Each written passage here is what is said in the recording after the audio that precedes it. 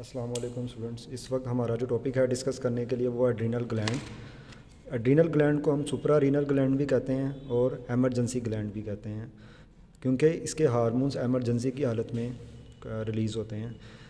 Anatomy में हमारे पास ये किडनी है।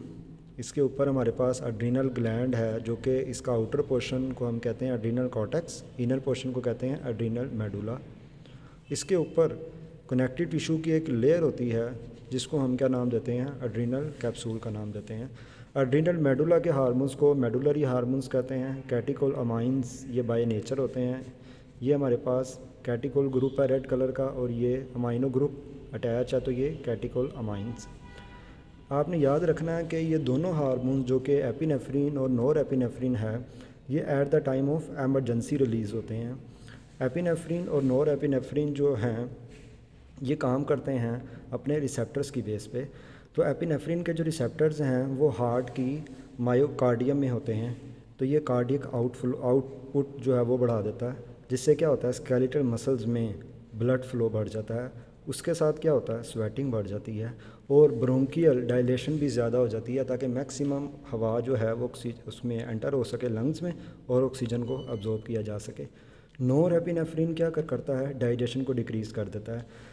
ये वेजो कंस्ट्रिक्टर है स्केलेटल मसल्स की तरफ़ जाने वाली ब्लड वेसल्स का डायामीटर कम कर देता है, जिससे उनकी तरफ़ ब्लड जाने की स्पीड ब्लड का फ़्लो वो बढ़ जाता है। तो ये हमारे पास इनके अपने अपने काम थे। आगे कुछ हमारे पास इन दोनों के सेम चीज़ें भी हैं। दोनों के बारे में आप देखें तो दोनों at the time of emergency release हो रहे हैं। दोनों क्या कर रहे हैं? ब्लड प्रेशर को बढ़ा रहे हैं। दोनों क्या करते हैं? ग्लूकोज़ बॉडी में ज़्यादा करते हैं, कैसे? ग्लाइकोजिन को ग्लूकोज में कन्वर्ट करके। इसके अलावा आपने याद रखना है, हमारे जो सिंपथेटिक नर्वस सिस्टम है, sympathetic nervous system direct control करता है एड्रीनल मेडुला के हार्मोन्स को। Sympathetic nervous system direct control करता है एड्रीनल मेडुला के हार्मोन्स को। ये बात आपने याद रखनी है। अब जो आउटर पोर्शन हमारे पास है, एड्रीनल ग्लैंड का डेट इज़ एड्रीनल कॉटेक्स जो कि almost 80 percent total adrenal gland का पार्ट है। इसके हार्मोन्स हमारे पास है, उनको कॉर्टिकल हार्मोन्स कहते हैं, जो कि स्टीरॉइड्स इन नेचर है। तीन तरह के हार्मोन्स हैं कॉर्टिकोस्टीरॉइड मिनरलोकॉर्टिकॉइड और सेक्स हार्मोन्स कॉर्टिकोस्टीरॉइड ग्लूकोकॉर्टिकॉइड में हमारे पास जो एग्जांपल है, वो है कॉर्टिसोल की। मिनरलोकॉर्टिकॉइड में एग्जांपल है एल्डोस्टीरोन की। सेक्स हार्मोन को हम कहते हैं एंड्रोजीन्स वो वाले हार्मोन जो कि एड्रीनल कॉर्टेक्स से रिलीज़ होते हैं और वो सेक्स हार्मोन्स होते हैं, उनको हम क्या कहते हैं? एंड्रोजिन्स मेल और फीमेल मेल में हमारे पास रिलीज़ होगा टेस्टोस्टिरोन फीमेल में रिलीज़ होगा एस्ट्रोजिन एंड प्रोजेस्टिरोन अब यहाँ पर आपने याद रखना है टेस्टोस्टिरोन रिलीज़ हो रहा है टेस्टिस में से भी मेल के। लेकिन में ज़्यादातर जो रिलीज़ होना, वो टेस्टिस में से ही रिलीज़ होना। स्मॉल अमाउंट रिलीज़ होनी है कहाँ से? एड्रीनल कॉटेक्स से। इसी तरह से फ़ीमेल में एस्ट्रोजिन और प्रोजेस्टिरोन जो है, वो तो एस्ट्रोजिन रिलीज़ होता है ग्राफियन फोलिकल से और प्रोजेस्टिरोन कार्पस ल्यूटियम और प्लेसेंटा से रिलीज़ होता है। लेकिन स्मॉल अमाउंट एड्रीनल कॉटेक्स से भी रिलीज़ होती है। इसी तरह से एल्डोस्टिरोन जो है, उसका काम क्या है? अपटेक ऑफ़ सोडियम करना कहाँ से? DCT and colon DCT distal convoluted part of nephron and colon जो कि पार्ट है लार्ज इंटेस्टाइन का, वहाँ से सोडियम को अपटेक अपटेक करना। कोर्टिसोल का क्या काम है? प्रोटीन को तोड़ना प्रोटीन की कैटाबोलिज्म करना प्रोटीन से क्या बनाना? ग्लूकोज बनाना, यानी कि ग्लूकोनियोजेनेसिस करना। अब यहाँ पर आपने एक कॉन्सेप्ट जेन में रखना है, वो ये कि अगर कोर्टिसोल की मकदार बढ़ जाए तो क्या होगा? ज़्यादा बॉडी की प्रोटीन्स टूट जाएँगी और ज़्यादा ग्लूकोज बन जाएगा। प्रोटीन ज़्यादा टूटने की वजह से पेशेंट वीक हो जाएगा और ग्लूकोज ज़्यादा बनने की वजह से चांसेस है कि क्या हो जाए?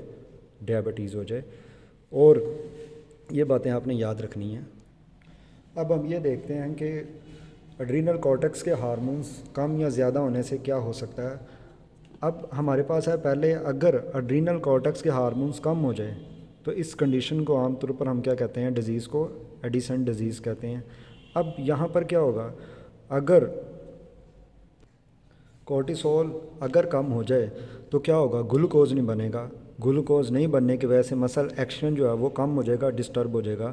इसी तरह से अगर मिनरालो कॉर्टिकॉइड जो कि एल्डोस्टिरोन है, अगर वो ना आया तो क्या होगा? सोडियम ना रीअब्जॉर्ब होने की वजह से वाटर भी रीअब्जॉर्ब नहीं होगा, जिसकी वजह से क्या होगा? मेटाबॉलिक डिस्टर्बेंस हो जाएगी डायरिया हो जाएगा वॉमिट हो सकती है। इसी तरह से बॉडी जो है वो स्ट्रेस की हालत में फेस नहीं कर पाएगी अलर्ट नहीं हो पाएगी। बॉडी के अंदर साल्ट्स की मकदार जो हैं सोडियम की रेफरेंस अगर हम देखें तो वो कम हो जाएगी।